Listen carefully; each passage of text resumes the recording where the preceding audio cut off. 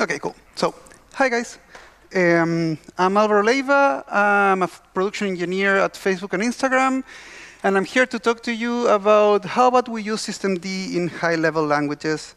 Um, systemd is already written in C, so that's already a high-level language. But I'm talking like higher-level languages, like uh, Python, Node API, sorry, Node, yeah, Node, JavaScript, PHP, all those languages that are not, that are really like nuance and stuff.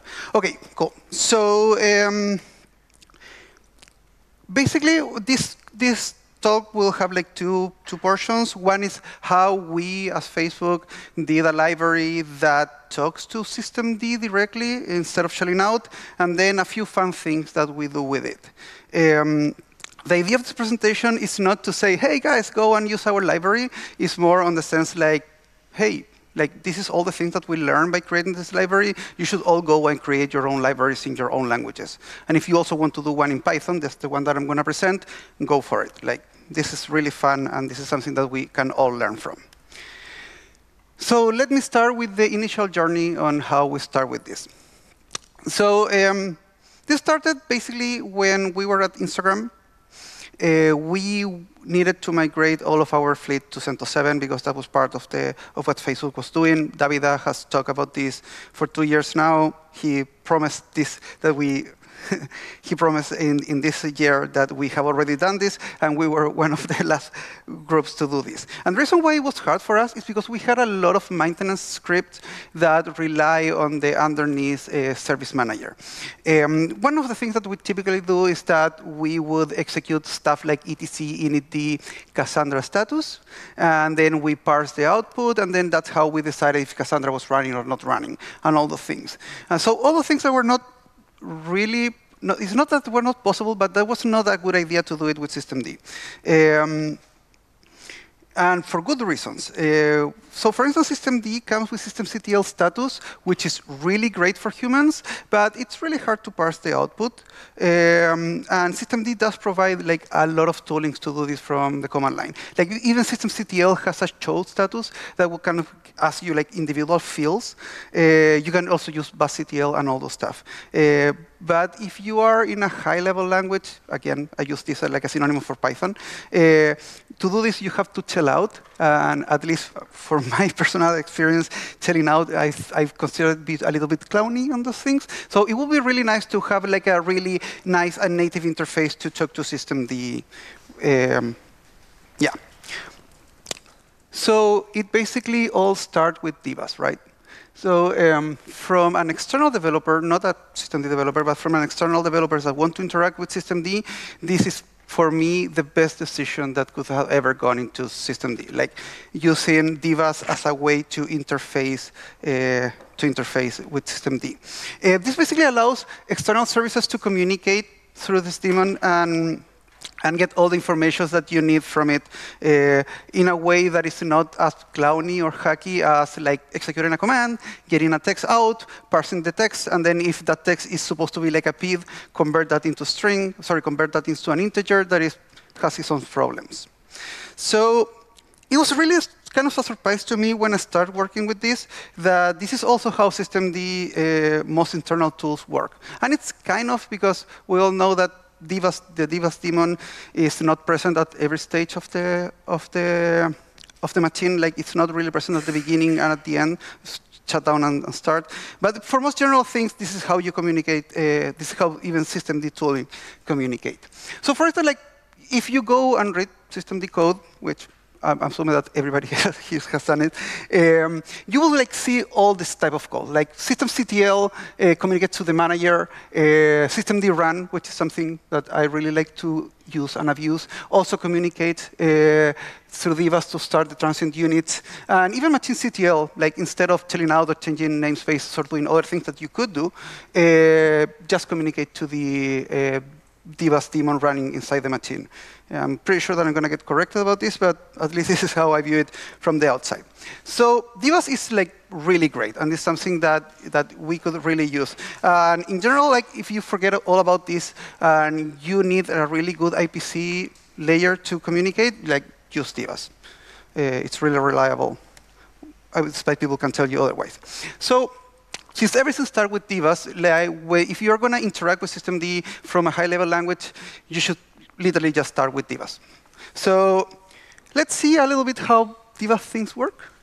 Um, so systemd comes with a nice tool that is busctl. busctl, um, when you execute it without any command, it will just show you all the services that are running on your system. And these are all things that you already know, since like systemd1 or hostname, that is called the reverse domain something. I sorry, I, I black out of that. Um, well, basically, these are all the services, right? If you go and explore one of these services, you will see objects. And objects, you can always look at this like name of instantiated attributes or, instantiated uh, objects on, on the system. Uh, for instance, for systemd, these are all the objects that you can connect. And then you see, even though they have like weird names, they all in target or service. So if you don't know anything how this thing works, but you have only worked with systemd doing like start, creating units and stuff like that, you will start to see like there is a certain resemblance, and this looks like a really programmatic way to access this, this data. Um, so if you go and actually do an introspect into this, you will see that uh, it has interfaces that has names that are really similar to what you would expect them to have. Like if I'm expecting, if I'm, if I'm inspecting the service, uh, a service unit, you will expect I will have or.freedesktop.systemd.service. And then inside those, you have methods and properties. And I'm pretty sure that this is really known for everybody, but at least when I started this, this was all new, so I think it's at least worth uh, mentioning. Uh, method is just a fancy way to say functions. It's something that you will call and will return you an something that you can give arguments to it. And properties, it's again, it's another fancy word for just saying a property is something, an attribute that your object has, and it can change through times. I always think of properties like functions that you call without arguments, even though that is not true, but that's a really mental model that I have. So the thing that make a dbus, a dbus object um, that you actually uh, that makes this really powerful are the three interfaces that are at the beginning. The first interface is the one that we're going to start abusing, and it was the one that made possible to actually create a library, was the introspectable, that allows you to, without knowing anything except the address and the object, this will give you the, all the information that you have to reconstruct the object and actually interface with it. Peer and properties are things that are there and are really cool, uh, that we're not going to touch really much, but well, you can also use it. OK, cool. So introspect.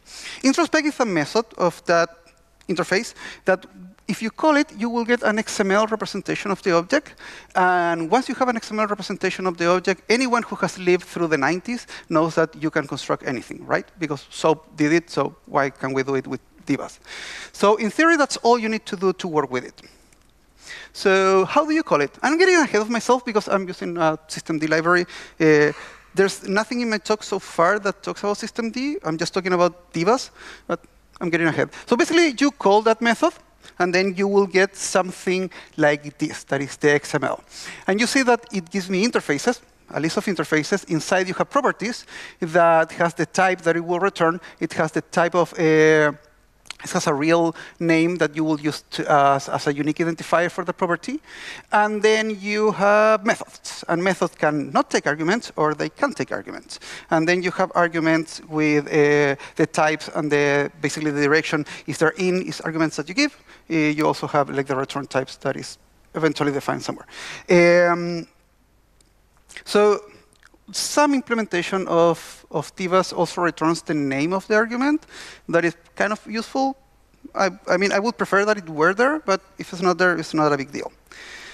So we now have a way to construct things. So when we were going to start building this library, we had to find like underneath libraries that we wanted to use.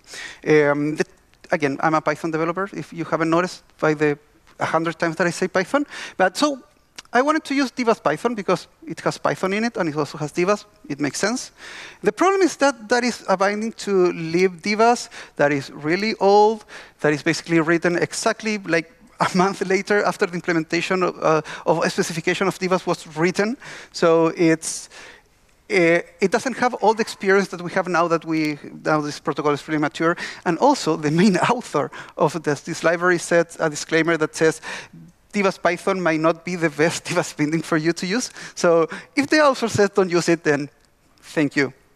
I will move on. Okay, the next one was pydbus, which also is, is based on GDBus, and it was really it was a really good alternative that I wanted to use.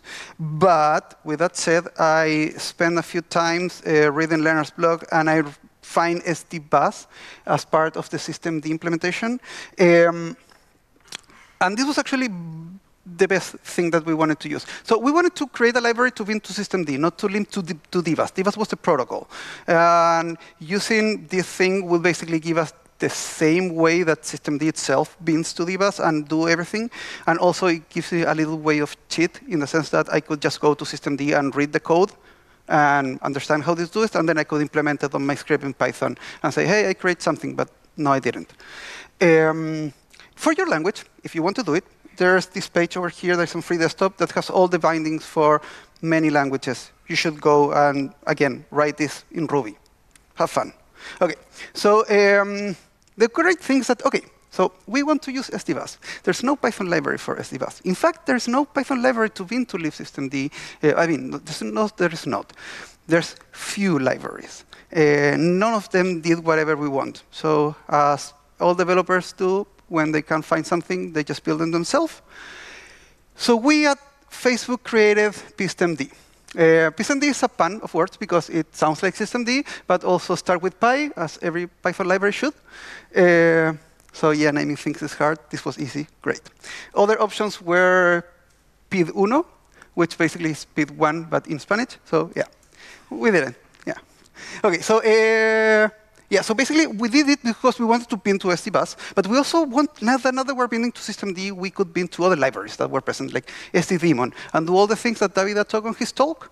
That was really cool. So how does this work? Uh, we basically Python this library, connects to D-Bus, get the information, and you generate classes.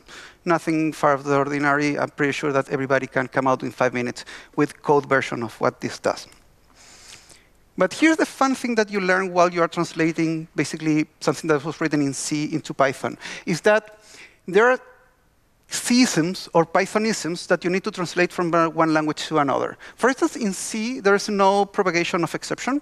So you see this pattern all the time when you read code. You make you call to a method that returns uh, exit status and their side effects on the arguments, and then you need to check for the return status to get to get. Um, you need, sorry, you need to check for the exit status to realize if you need to fail or continue.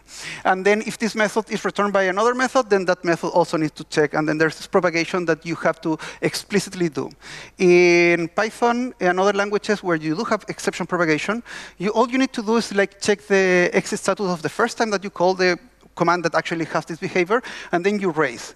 And when, when you raise the exception, that will bubble up everywhere else. So you don't, if you want to stop when something fails, you don't do anything. You just let the application or the virtual VM uh, does that for you. Uh, if you do want to stop, sorry, if you don't want to stop, then you just try accept uh, your errors. So that's one cool thing that, that you get, and then you're going to see this difference if you ever look to my code that I raise a lot instead of checking. And then I try accept a lot. Uh, the other thing is that uh, systemd, at least from my point of view, it's really written in a way that it looks like it's supposed to be like object-oriented, but it's not because is not. So you usually give like this struct at the beginning uh, of almost all calls. So this really lends to when you are translating this into a language that is object-oriented, like heavily object-oriented, heavily object-oriented, you get into those things. Uh, so you have a class SDBus that should be like, then you delete the first name, and then you just uh, rename all the method, and then they call self. The idea of doing this is that if somebody is, read, is used to write Python, this comes really natural. And if something is used to write C and wants to write these things, but in Python, because somebody asked him to, uh, it doesn't have to learn so much new things. It just needs to learn that it needs to replace sdbus underscore with sdbus and then a dot. That's not that big of a deal. So now how this look? It's basically you install as everything with pip install pystemd. Then you call it like that, and it looks very simple. Like if you do org.freedesktop.system d1, you will install, install it, sorry, call it from pystemd.python, and then you call the unit. And then you start the unit in this really Pythonic way where you don't have any information about how it is, and this will construct everything. And then you can start and stop it. And this thing over here encodes the idea of the interface um, that is completely um, evaluated when you call for the first time unit. Um, now, this is, again, this is you can do it. You could, like, if you know C, you can even do it in C. There's nothing magic about this. The great thing is that now, for a Python developer or or, a, or these developers that are high level, um, that they have never touched C and they also don't want to touch C, you give them like a really nice interface to do stuff that they first didn't knew how to do, or that they will shell out and then do a really hacky and let's face it, clowny way to, to, to get the output.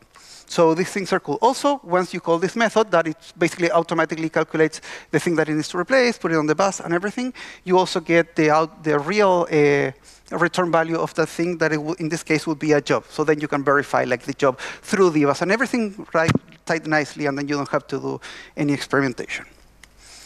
I said that I really think I said that I really think that systemd was uh, really good uh, at making the decision of running dbus the other thing that I really think systemd does really good is giving you output or information about your service, and I'm preaching to the choir probably, but um, but when you do systemctl status, you get all this information. And sometimes you actually want this to to do in your code. So you do the same thing, and then you ask the main PID. And again, the main PID, you, you get it as as an integer because this thing is typed. But then with systemd, you Oh, fancy animations. Okay, so with systemd, you, you can do, a you can actually like do socket activation. I mean, you don't do it with socket activation, but you read the information from, socket activation when you just get the same headers that you would get uh, by binding with, uh, with systemd. And you do socket from FD, and then now a Python developer, and Maybe I'm selling them short, but uh, that is used to do like do socket socket and then socket.listen and then socket.accept or, or bind. Now, in his own language, without changing anything, he can do these things. So that's the first part. And now let's talk about fun things that we can do. And a little disclaimer. Everything that I'm going to show you, you can already do it with like systemd run and then batch script and everything. I'm just showing you how you can do things that may not be the best way to do them. But again, you can do it from a high levels perspective. So the first thing that I really like when I start working with systemd and the things, I really wanted to have this idea that I could decorate a method, like for instance this ping over here, that it could be like even like a normal call. And then I wanted to decorate and then just run this section of the code in a different C group, um, or even in a different process. So I actually went on and did a few things. Uh, this will all be available on the systemd page. Um, so GitHub um, repository. Right now, they are not because I read, write them only for this talk. So my idea was that I could decorate this method and then make this method run without any network access. Uh, the idea of this is that sometimes you have to run like non-secure code or code that users provide. So it would be a good idea to just make this thing run on a different C group.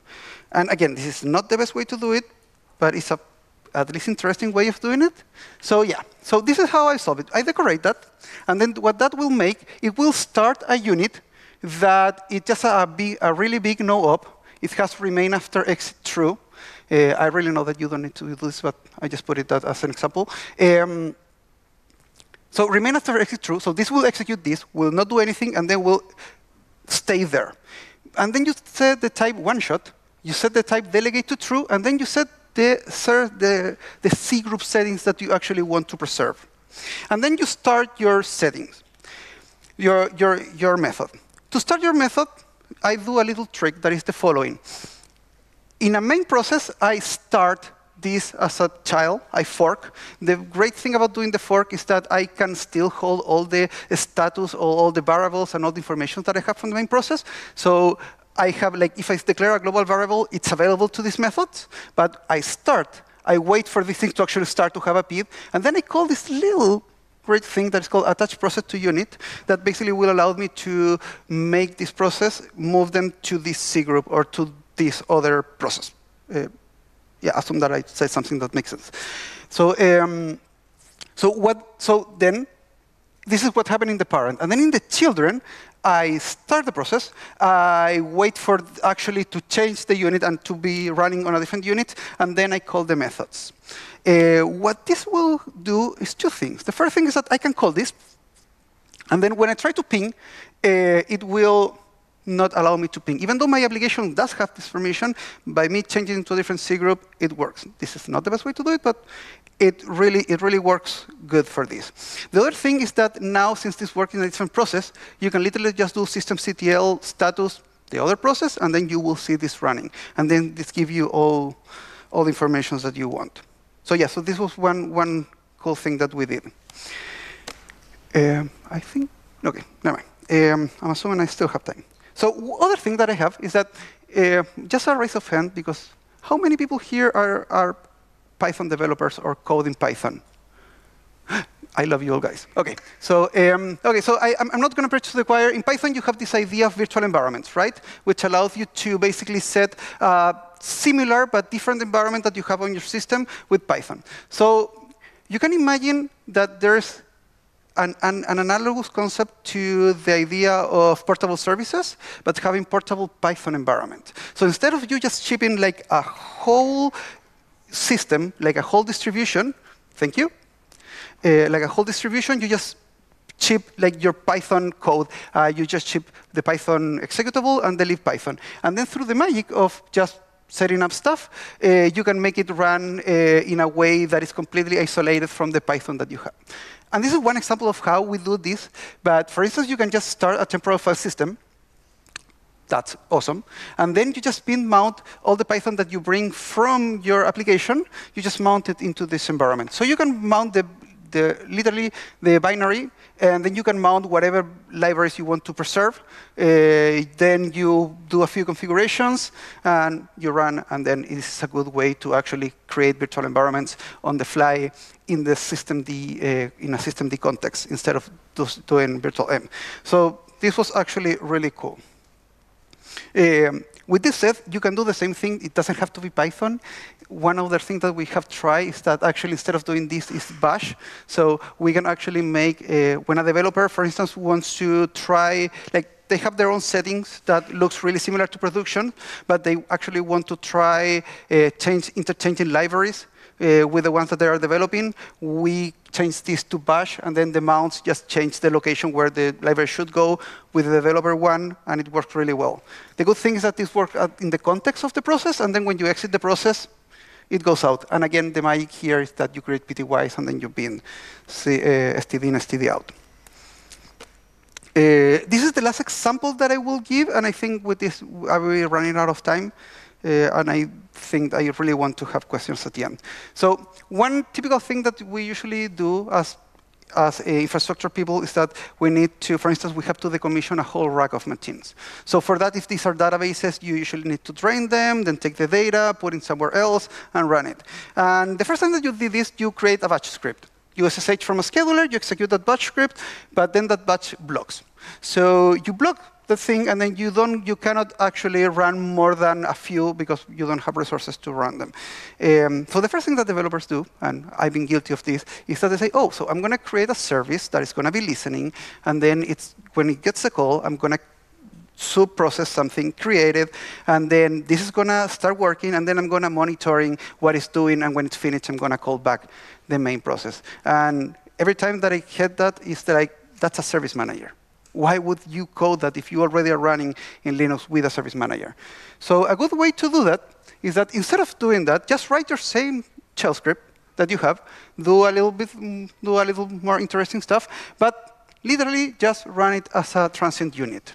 So like this could be like a normal unit, and then you just start it. But if you want to create this file on the fly and do all the stuff, uh, you could literally just create a, as, a service, uh, sorry, as a transient unit. You give all the attributes that you want. You can put um, you can put limitation into your script, change the user. And the good thing is that you should always try to use notify when it's possible. The reason why, well, so this is non-blocking, and then you just return the name of the unit that you created, and then you just monitor that unit. Now, how do you monitor that unit? One thing that you could do, and it's not really useful, but then you could just like notify. So notify you say ready equals one, it gives you like the status. But uh, what if you can put text into it? And you can, like you do. Like don't over abuse this, but uh, like in your in your backup script, you go through your backups, and then every time that you make a change, you change the status.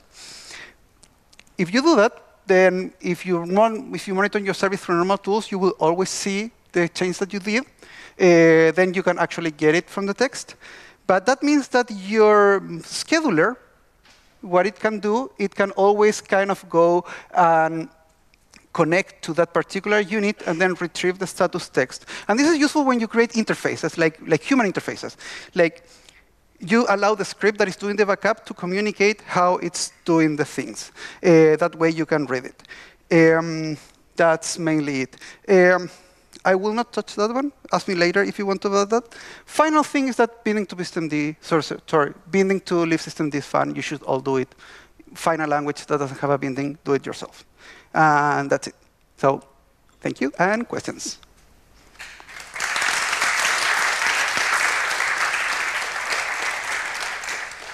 I have one minute, so at least one question or none. Go for it. So I have two questions. The first one is, uh, you showed before that there is some auto-generated code out of the uh, dbus introspection stuff. When is that happening? Like at build time? Oh, so uh, in, in, in my library, you can do whatever you want. You're free to write yeah, no, your library whatever you want. It's here. It's like when this with, you create the object, and this with in Python world, it's execute a method that is called enter. And that method enter, you get go to system, go to the library, sorry, go to system, go to dbus, call the introspect method, gets XML, construct the object, and then you return the object that you constructed. The, only, the good thing is that these interfaces are really stable, and you only need to do this once. Uh, we don't do it. We do it every time that you create an object, but you only can only need to do that once. Okay.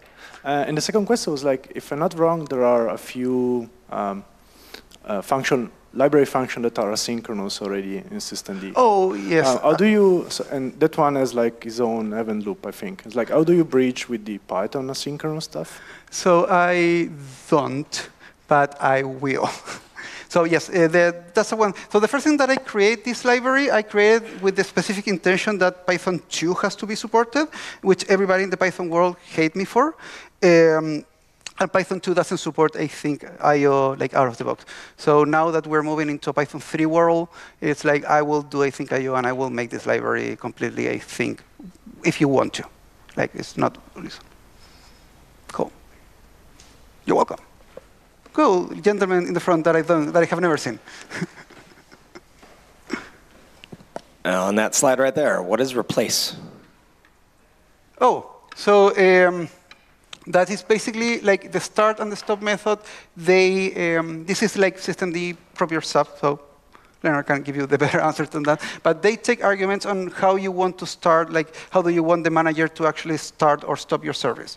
And the most it's, typical one is replace. Go ahead. It's basically if you start a service um, and this contradicts with another operation that has been queued um, before, what shall happen? Shall the new operation replace the older ones, or shall the new yeah. fail, or something like that? So I, I, want, I want before, you, if you have a question before you ask it, I want to say like this actually was one of the coolest thing about working in this type of library is that you get to learn, quote unquote, how these things actually work, how the sausage is made, because you get to like like you, I call this method doesn't have arguments like what, and then you say like oh there's all these options. There's like three options I believe. Go ahead. Uh, my question was regarding like um, if you go uh, yeah on, on, this slide here like um, you're saying that the introspection happens at the time the, the object is allocated right? Yeah. So this works for any any dbus service? Yes literally so so, so it, how, how, would that look like if I let's say talk to um, I don't know network manager or oh yeah so so it, I don't have example for this. Let me see if I can get this one uh, so basically this is how the magic work. You like I have Sorry. OK, so this one, it's like a custom object made understand that is the concept of unit. But I have an object where, where uh, this inherits from that basically allows you to specify any any uh, service and any object. When you read that object and you see the XML, I, under I understand that everything that, like, if it is or.free.login.1, I understand that every, every interface that starts with that, it's uh, like an interface proper of the object. So I exposed it like this thing as a proper attribute. So then you have like your object that you created dot unit, sorry, dot user would be this one. And then you will see it, like it works like that.